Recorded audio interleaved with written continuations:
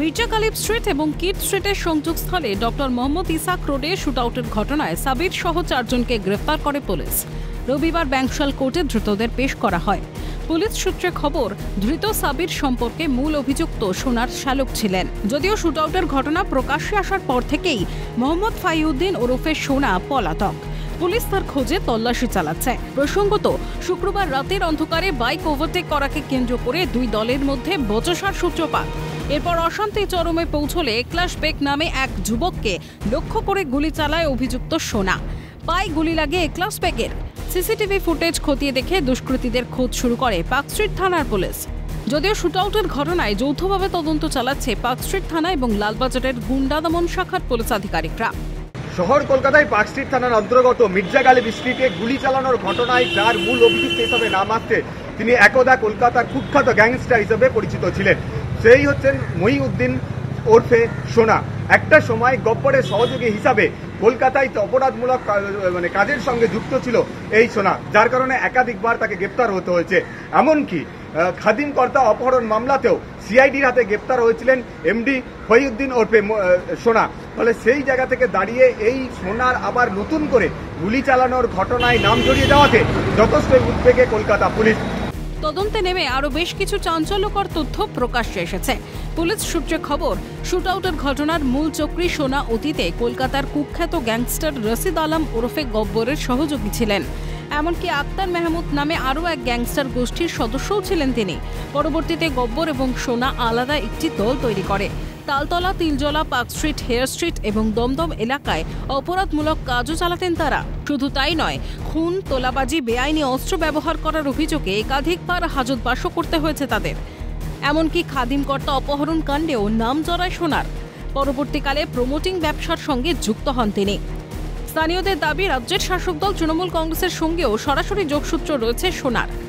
সদ্য সমাপ্ত লোকসভা নির্বাচনে দক্ষিণ কলকাতার জয়ী তৃণমূল প্রার্থী মালা রায়ের সঙ্গেও প্রচারে দেখা যায় তাকে। সমাজসেবী হিসেবে বর্তমানে জনপ্রিয় সোনা। এ বিষয়ে দক্ষিণ কলকাতার তৃণমূল সাংসদ মালা রায়ের সঙ্গে ফোনে যোগাযোগ করা হলে তিনি মুখ খুলতে নারাজ। ফোনটিও কেটে দেন তিনি। এখানে, এখানের লোককে যে কোনো প্রবলেম হলে সোনাবা সাপোর্ট করতো সাহায্য করতো, টাকা দিয়ে বা যে কোনো প্রবলেম হলেও সাহায্য করতো এটাই জানি আমরা বাস। আর এমনি ভোটের সময় কি ধরনের রোল ছিল? ভালো ভালো। সবাইকে নিয়ে যেত গাড়ি ব্যবস্থা করতো। সোনাকে চেনে নাম শুনেছেন? সোনার কে নাম? হ্যাঁ চিনেছে। ও কি করে?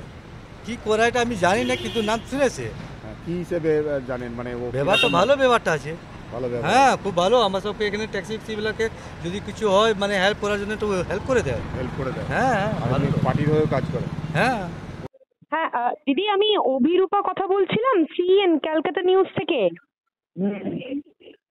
বলছিলাম একটু একটু কথা বলা যাবে আপনার সঙ্গে? আপনি কি বাড়িতে আছেন?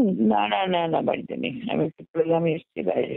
ও আচ্ছা তাহলে আমি একটু ফোনে যদি রিয়াকশন না না না আমি এখন কোনো ফোনের রিয়াকশন আমি এখন দিচ্ছি না পরে কথা বলব। আসলে ওই সোনা নামে একজনের নাম উঠে আসছে।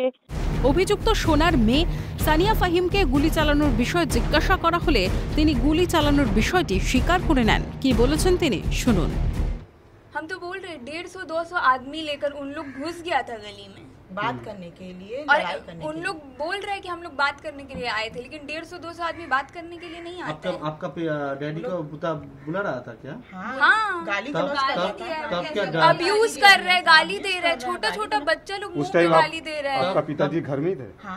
हाँ। सब घर में थे हम लोग। तब जाके क्या किया? गोली चला?